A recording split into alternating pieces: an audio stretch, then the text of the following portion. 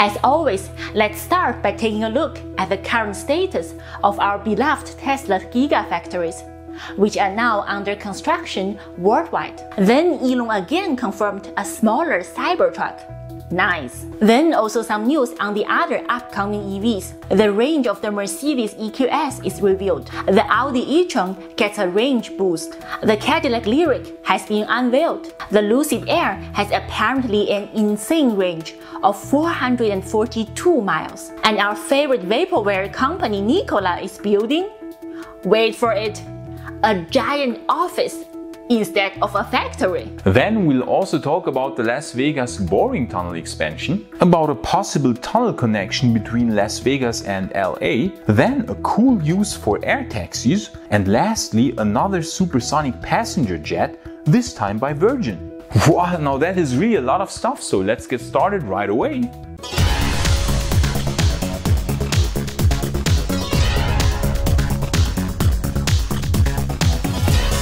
So let's start with the current status at Giga Texas. As always, Joel Tegtmeyer has made some awesome drone shots. Thanks a lot, Joel. He also has some really interesting info to share. Namely, this black stuff here on the ground is not asphalt, but it's geotextile membrane. This is porous plastic, which allows water to pass through. Highly interesting. As for the progress itself, Joel explains, there is significant activity in the South Swamp area, where dirt filling and compaction activities are eliminating some of the ponds in that area. Also, the North Swamp area is almost completely devoid of trees and water, and there's a lot of fill dirt now deposited and ground leveling so that it's quickly becoming flat. Soon, this entire area will be flat and unrecognizable from just a week earlier. We assume that immediately afterwards, the groundwork on the factory will start. We could see the first concrete being cast in about two weeks, we'd say. At Giga Berlin, meanwhile, we have the first walls going up at the paint shop. And incredibly, the roof construction at the drive unit building has started. Thanks as always to the awesome Tobias Lindh for these amazing drone shots. If we compare the progress at Giga Berlin to Giga Shanghai, it looks as if we are now around April 2019. We remember that the first car rolled off the assembly line there in November 2019. So it seems that we have 7 more months to go at Giga Berlin. So we could see the first Model Y test units rolling off the assembly line already in March 2021. Insane. Talking of Giga Shanghai, in the latest drone footage of Jason Yang, he shows us that the Model Y assembly building is now completed on the outside. And please also check out Jason's YouTube channel. Link in the video description as always. Work at Giga Shanghai is now mostly progressing on the inside, meaning assembly lines for the Model Y are being installed. So everything is still on track for the first Chinese built Model Ys later this year. And you all know what that means. That means a giant cash cow for Tesla. That's what that means. And what will be another cash cow for Tesla? Cybertruck, of course. And Elon gave some really cool updates regarding Cybertruck. We especially liked his wording. Elon said in a recent interview with Automotive News, quote, we're really fundamentally making this truck as a North American ass kicker, basically. The goal is to kick the most amount of ass possible with this truck. Wonderful wording, like perfect wording. And we think Elon will actually achieve this goal because Cybertruck will be as disruptive for the North American pickup truck market as the Model 3 was for the midsize sedan market and the Model Y is starting to be for the SUV market. But he also added something very interesting for non-US and Canadian citizens, namely that the Cybertruck will be built in its concept size for North America, so the size we've seen in the reveal event and in these shots here, and for the rest of the world, he said that Tesla will produce a smaller version. Because let us tell you, the roads here in Europe are generally a lot narrower than the ones our North American friends are accustomed to.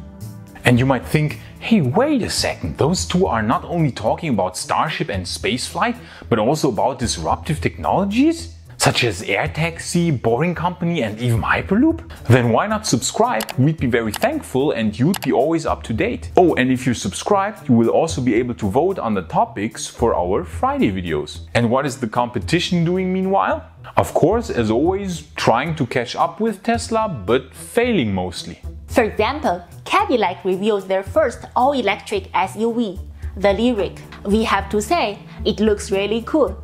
We like the futuristic styling, and apparently they were heavily inspired by Byton, with this large ultra-wide screen on the inside. However, there's of course a catch. When does the car come out? 2021? 2022? No, 2023. And the Lyriq will have a range of only 300 miles. That's right, a 300 mile range in the year 2023. By then, Tesla will have cars with 600 mile range. Just saying. But okay, Cadillac is at least trying, which is also worth something. Mercedes, meanwhile, having some brutal trouble, making giant losses and maybe having to shut down several factories worldwide, is hoping that its EQS can turn the tide. It's set to launch in 2021 or 2022. We don't know yet for sure, with a 435 mile range. Oh wow, 435 miles! That's cool! Yeah, but it's the WLTP range. So more like 350 miles real world. Again, by the time the Mercedes EQS comes out, the Tesla Model S will probably already have 500 miles real world range. But okay, at least they are also trying. Then Audi, who is also desperately trying to catch up with Tesla, is lowering the base price of their e-tron by almost $9,000 and adds 18 miles more range. Wow, 18 miles more. So what? 318 miles overall? Nope. The e-tron only has an EPA range of 222 miles. That's right. 222 miles after the range increase. The same sized Tesla Model X, with a very similar battery pack size, has an EPA range of 351 miles. You know, just saying. But at least Audi is also trying. They are all trying, trying, trying. Too little, too late. But we have to say, there's one which might really become the first real Model S challenger. Yes, we can't believe that we are really saying this. But the Lucid Air now was revealed to have a 442 mile real world driving range. Not WLTP, real world range. If that is true, this car could really be the very first Tesla Model S challenger ever. We hope this info will prove to be real, because it would be awesome to have a Model S competitor which never has been the case until now. The Lucid Air production version will be revealed on September 9th, and it will enter production later this year. And Lucid is a legit company that even has a real factory at Casa Grande in Arizona where the car will be produced. Unlike other companies who claim to have broken ground on their factory, but in reality the supposed factory site looks like this here, weeks after groundbreaking, as filmed by Jessica Kirsch. Thanks a lot for uploading this. So Nikola says they started work on the factory, but actually they didn't. Instead, however, they are putting a lot of effort into their awesome new office buildings, complete with a really nice gym, as Will Real revealed via Twitter. Okay, as somewhat of a gym fanatic myself, I can completely understand the need to have a nice gym at the workplace, but shouldn't Nikola focus actually on getting a factory built? Like, isn't a factory with which you normally build stuff, you know, really kind of important for a company that wants to build things, large things, like the giant semi trucks and pickup trucks, for example? Shouldn't that be the priority? No, apparently Trevor Milton, the CEO, thinks that it's better to go pump some iron with all that cool investors' money instead of actually building real products. Nikola again proving to be a really legit company. Now, if this guy would at least have brutal muscles and look like Arnold, but no, he's also failing on that front. Come on, Trevor. Then at least go pump some iron. Now let's get back to real companies who actually make some real products and real progress. And the awesome Boring Company is an excellent example of that. They now have received approval from the County Commission of Las Vegas to move forward with the passenger station and the next tunnel to connect the Las Vegas Convention Center to the Resorts World. But even more exciting is another news which Teslarati reported about last week, namely they spotted construction of a boring tunnel station at Adelanto or Adelanto which is situated between Los Angeles and Las Vegas. Interestingly, this picture released already quite a long time ago by the Boring Company, which is showing the full extent of their planned Las Vegas loop system, loop being the name of the Boring Tunnel network, shows an arrow saying to Los Angeles. Hmm, interesting. So what, a boring tunnel now between Los Angeles and Las Vegas? With 155 miles per hour, the trip duration would be a quarter of the current 4 hour drive. Or wait, maybe even a hyperloop. That of course would be freaking epic, but we should remain cautious. It just could be a testing ground for their newest boring machine called Prufrock. Check out the video from A Boring Revolution, link in the description. He explains it really nicely what is most likely going on. And we also suggest you to check out his channel because he's doing awesome updates on the Boring Company. Regarding air taxis, the Chinese company EHang showed an impressive new use case for their EHang 216 eVTOL drone besides being used as a flying air taxi, which is already happening in Yantai, China. The same flying drone can actually also be used as a firefighting drone. EHang released a video where they show how their flying car would fight a fire in a higher floor of a building.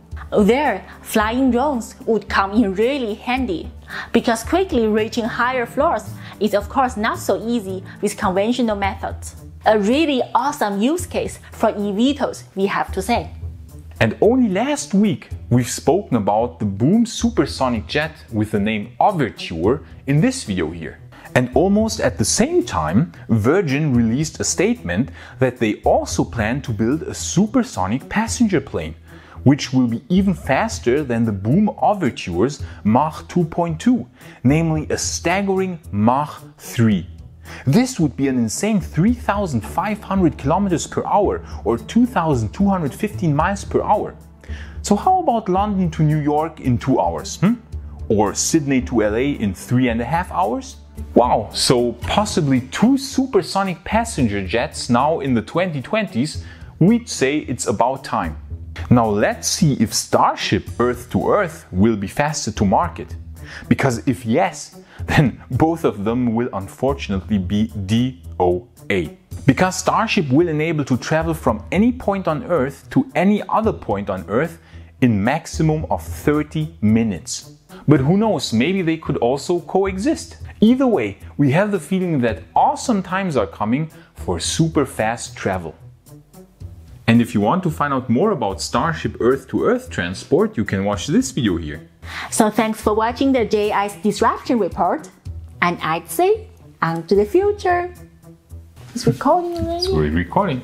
I will more screen. I like to be in the center. And if you want to find out more about... Yeah,